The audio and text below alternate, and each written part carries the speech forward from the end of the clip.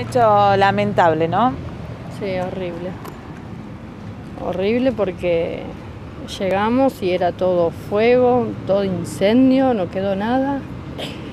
Mi hija desesperada, cuatro añitos. Si nos quisieron hacer daño a nosotros, a nosotros no nos hicieron daño. Nosotros es material, nosotros lo levantamos. Pero el que hicieron daño fue una criatura de cuatro años que dejaron sin su vivienda, sin sus juguetes, sin su ropa, en la deriva. ¿Dónde viven?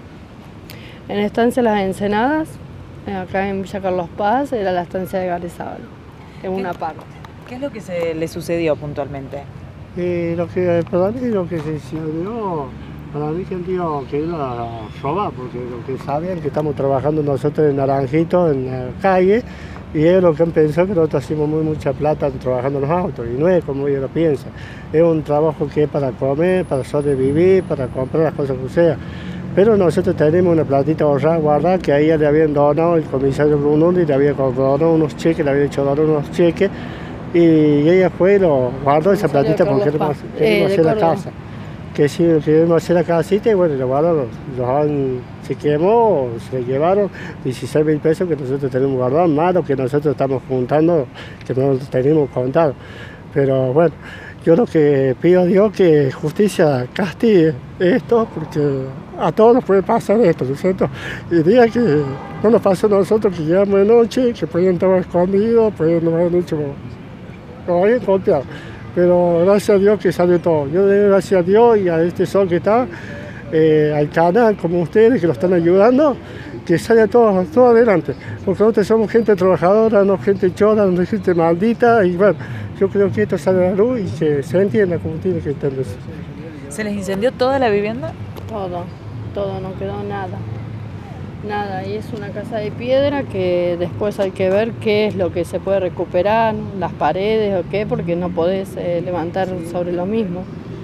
Ahí, porque quedó, para mí quedó débil, mucho, mucho fuego, tuvieron mucho tiempo también, porque si dicen que también vieron a los bomberos por los lotes de tercia a las 6 de la tarde, es como que tuvieron tiempo de saber que nosotros nos vamos a las 8, 7 y media de la mañana hasta la tarde, porque él después de estacionamiento controlado tenemos un muro que hace muro, pero... ¿A qué no hora fue pudimos. esto? Y nosotros llegamos a las 10, ¿no? Fuimos a comprar y de ahí subimos. Le digo, vamos, vamos que quiero comprar comida a los perros, le digo, porque no conseguíamos carcasas, nada de eso. Comprarle comida de... Y bueno, y- ¿Ustedes se encontraron con esto? ¿Les avisaron? ¿Cómo fue la situación? No, no, nos encontramos con esto. Yo vi luz y digo, ¿cómo luz? Y yo le digo a él, ¿pero qué? ¿Dejaste una vela prendida cuando veo? No, porque está, la mesa está afuera con la silla, yo lo dejo como un comedor y estaban las mesas todas, las sillas todas amontonadas arriba, con el balde de agua todo quemado, nos sacaron todo el agua, cosa que si uno llegara no lo pudiera, no lo pudiera apagar al fuego, nada, nada, nada. ¿Ahora dónde están parando? Gracias a la compañera que él tiene en la calle Sargento Cabral, que si no fuera por ella que ayer le dio un teléfono porque él lo perdió. Si no fuera por ella que ayer le dieron este teléfono, no teníamos cómo comunicarnos, ni llamar a los bomberos, ni llamar a la policía, ni llamar a nadie. Así que gracias. ¿A dónde están parando ahora? ¿A dónde van a dormir esta noche?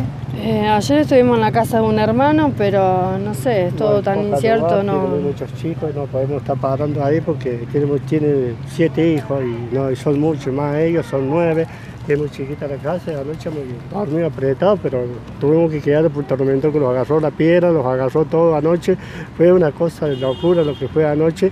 Y bueno, yo lo, lo último que pido es que, se haga justicia, que la justicia haga algo y que salga de todo lo que está, pasando en todas las calles, no solamente a nosotros, a toda la gente que le está pasando esto, que llegue un momento que se cierren las puertas una vez por todas y que se haga justicia como tiene que ser.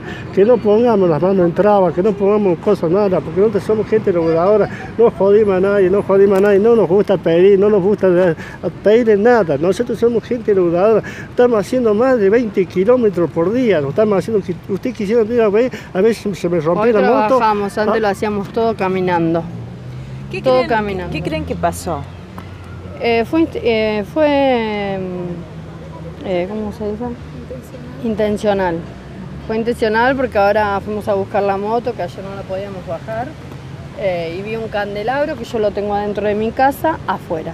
Así que no me queda ninguna duda, aparte de las sillas, todo, todo, todo, todo fue intencional. Me quemaron todo, todos los papeles, todas las cosas que uno de valor tenga, de Fueron más porque tengo todos los Todo, papeles hechos todo. del campo, los tenía todos guardados, todo hecho del campo y ella había pagado 16 mil pesos, había hecho una posesión del campo de que era de girar nuestro, porque nosotros somos 17 hermanos y ya hemos quedado 9.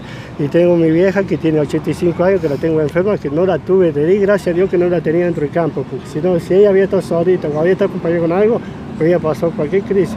Entonces yo le doy gracias a Dios porque esto ha sido algún maldito que fue y nos hizo esto para que nosotros abandonemos ese lugar y para que nosotros salgamos de ese lugar. Y no, no lo voy a abandonar porque hace 60 años que vivió mi viejo ahí y esa tierra hemos nacido todos nosotros ahí en la estancia del Senado. Si me Y está escuchando, el doctor Araizábal, si me está escuchando, si me escucha por una vez por todas, él me conoce bien. Yo soy justamente Jiménez, nacido en esa tierra, que se afrente a él, que mira, ¿por qué me prendieron fuego del campo? ¿Qué mandaron a prenderme fuego del campo? Que se afrente, por favor, que lo haga por mi hija, por mi hija de cuatro años, vive a la calle. Yo estoy muy herido por todo lo que me está pasando. Siempre hay una novedad de algo. Que me hagan algo, que salga adelante, por favor. Que haya justicia. Le pido al comisario Brunetti que haga algo por mi señora, por mi hijo. Porque ya no podemos ni entrar. Donde entramos siempre hay asalto, maldición, envidia, todos los tienen. Pero vamos a ir adelante. Yo de verdad, a este luz que tenemos el camino, que siempre somos gente luminosa. Por Dios y por la Virgen María le pido que salga todo bien.